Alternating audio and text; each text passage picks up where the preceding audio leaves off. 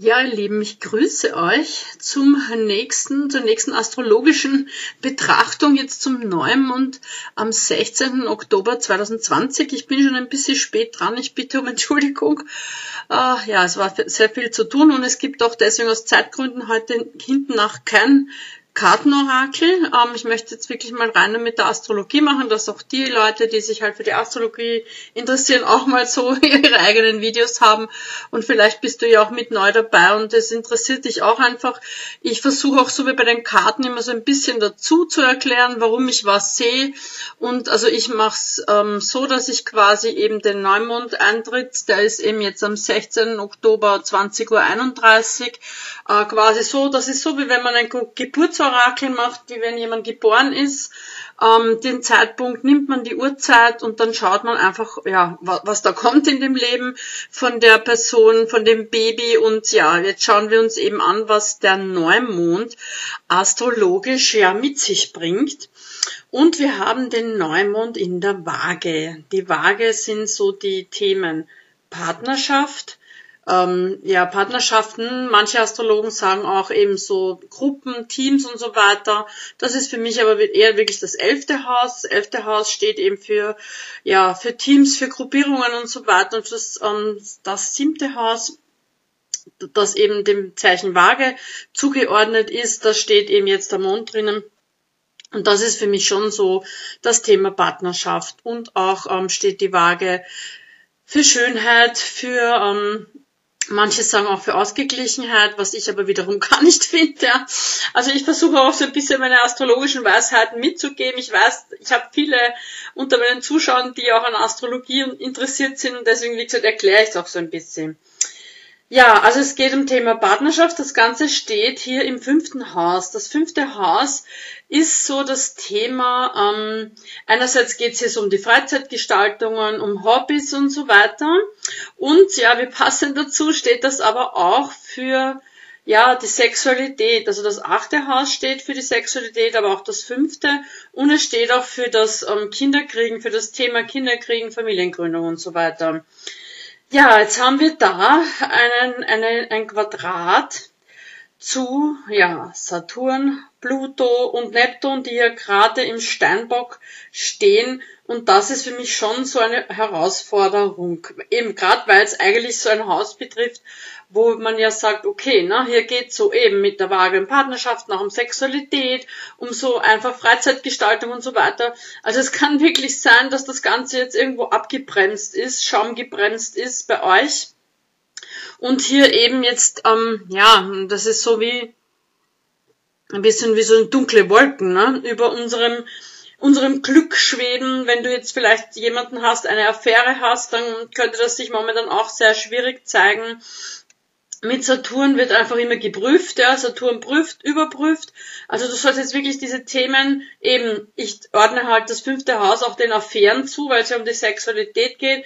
Kann natürlich auch das Thema Sexualität selber sein und eben auch das Thema Kinderwunsch und so weiter, ja. Also wenn das bei dir alles ein Thema oder halt eins davon ein Thema ist, dann kann das jetzt sich wirklich ein bisschen schwierig gestalten. Aber im Saturn steht ja im eigenen Haus. Saturn ist der Herrscher von Steinbock und da, der klopft halt wirklich auf die Finger, ja, und sagt, du, du, ja, Achtung, pass jetzt mal auf, was bei dir los ist. Und was ich ja sehr interessant finde, ist, dass wir also, dass wir hier eine Opposition zum Mars haben, Entschuldigung, Frosch im Hals, ja, eine, zum Mars haben. Und der Mars steht ja für die Männer in unserem Leben. Da kann ich jetzt nicht sagen, egal ob Mann oder Frau, so wie bei den Karten, ja, sondern hier geht's wirklich um die Männer in deinem Leben. Wenn du jetzt natürlich, egal ob du Mann oder Frau bist, eben männliche Partner hast, dann gilt das für dich. Aber eben nicht, wenn du weibliche Partner hast. Äh, egal eben in welcher, ob du jetzt heterosexuell, homosexuell oder was auch immer bist. Ne? Also da gilt wirklich zu überprüfen, ja, weil der, der Mars steht im eigenen Zeichen im Witter und die können ja unheimlich äh, stur sein, die, die rennen mit dem Kopf durch die Wand. Also es kann sich jetzt wirklich Probleme mit Männern ergeben in Partnerschaften und eben da wirklich aufpassen. Ja, es war schon im letzten, im, ich glaube im Vollmond, äh, im, ja eine Vollmondbetrachtung. Ja, ich will jetzt nicht Orakel sagen, aber jetzt keine Karten haben, dass hier wirklich ähm, ja, ein bisschen der Wurm drinnen ist. Ne? Und wir haben auch hier wieder vom Mars wieder diese Quadrate zu dem Saturn, Pluto, Jupiter. Jetzt sage ich mal, der Jupiter bremst normalerweise ja ab, weil also in dem Sinn ab, weil der Jupiter ja für das Glück steht. Er ist der Glücksplanet schlechthin. Allerdings, wenn er in solchen ungünstigen Kombinationen ist, dann könnte er auch dafür sorgen, dass übertrieben wird. Ne? Also bitte wirklich jetzt auch wieder aufpassen äh, in Partnerschaften vorsichtig sein, nicht zu viel streiten und also auch nichts herausfordern, ne? weil das könnte wirklich äh, ja Ärger ausgehen als sonst. Wir haben auch hier die Venus, die Venus, die hier in der Jungfrau steht, die zwar eh dann eher geerdet ist und immer alles so ein bisschen den ja, Ball flach haltet, da haben wir aber eine Opposition zum Neptun und der steht ja in den Fischen, ja. Und Neptun ist der Herrscher von Fische und der löst halt auch sehr auf und der lasst uns, mh, mm, der täuscht, ne? Der steht auch für Täuschungen, der steht was, das ist die Karte, die Wolkenkarte in den Lenormand-Karten, ja, Neptun und Fische. Und eben mit der Venus, mit der Weiblichkeit, also es kann wirklich sein, dass du durch Streits, durch Missverständnisse, einfach durch Konflikte mit dem Partner oder eben mit Männern jetzt auch so das Gefühl hast, so, ja, dass ein bisschen an deiner Weiblichkeit, ähm, sozusagen geknappert wird, dass du da dich auch noch unweiblich fühlst. Ne? Das sind halt mal so die bisschen unschöneren Sachen, die man halt leider erwähnen muss, wenn sie sich so stark zeigen. Wir haben hier aber von der Sonne auch ein Trigon zum Aszendenten. Das ist schon mal insofern gut, dass du quasi, ja, das ist für mich eigentlich eher wieder so ein Wohlfühlfaktor, wo man sich nach außen zeigen kann, wie man ist, würde ich sagen. Die Sonne steht ja für dich selbst, ja, und der Aszendent ist das von außen, also du zeigst dich, wie du, wie du bist, du kannst jetzt dich rauskehren, aber eben auch Vorsicht, weil wir haben hier wieder ein Quadrat mit dem Neptun, ne? Und da haben wir wieder die Verschleierung, ja? Also leg jetzt wirklich alles daran, nicht, ähm, ja, du nicht schauspielern, sondern zeig dich nach außen. Wir haben ja da einen Zwilling-Aszendenten und der Zwilling hat halt wieder zwei Gesichter. Also es kann natürlich sein, dass du eine Rolle spielst, sollst du natürlich nicht, ne? Wenn es dir schlecht geht, dann zeig das auch, ja? Du musst nicht dich verstecken, aber wenn es dir gut geht und wenn du dich wohlfühlst, dann kannst du das auch noch außen zeigen. Ne?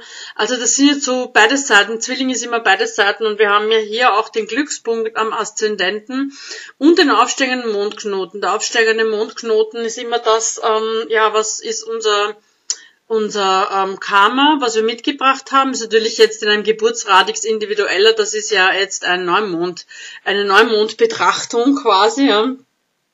Aber eben, es kann schon sein, dass es hier auch um karmische Themen geht, die, die jetzt nach draußen kommen auch, ne?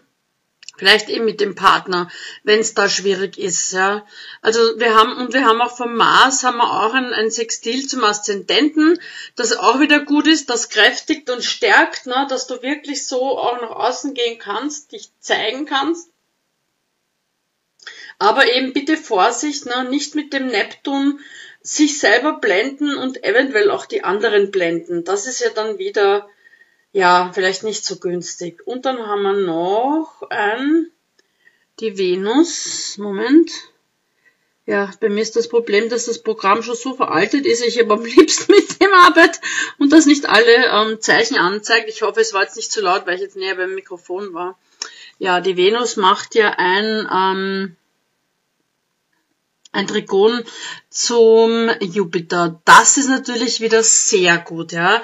Das ist für mich ein großer, großer Glücksaspekt. Also ähm, das ist so wie die Sternekarte in den Lenormand-Karten. Also da ist das Ganze, was vielleicht nicht so positiv ist, jetzt dann doch wieder nicht so schlimm. Ja, es kann sein, dass es abgemildert wird, dass du wirklich äh, Dinge, die du vielleicht jetzt als schlimm erlebst, dann doch sich zum Positiven wieder wenden.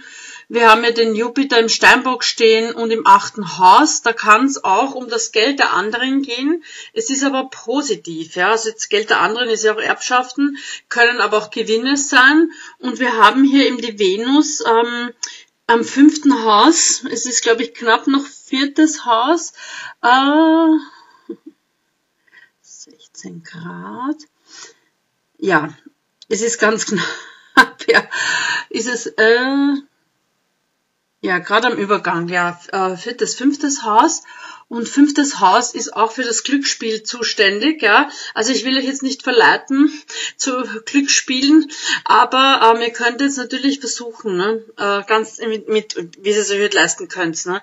Aber das schaut gut aus und das gilt jetzt ähm, ja, das Neumond selber und der Vollmond, die stehen ja immer nur ein, zwei Tage in dem Zeichen. Aber ich habe das jetzt quasi für die ganze ähm, Neumondperiode, die ja eigentlich eh nur zwei Tage geht, aber wir sagen mal bis zum nächsten Vollmond, jetzt die nächsten zwei Wochen, hier grünes Licht und gute Energien, dass man eventuell eben auch ähm, mal versucht, ja, oder wenn du eh öfter spielst und dir denkst so, na ja, jetzt könnte ich wieder mal und vielleicht sollte ich wieder mal, dann, ja, würde ich dir dazu raten, äh, ja, wenn du Lust dazu hast und eben das, dass dir das leisten kannst, könntest du es mal versuchen. Wäre gut.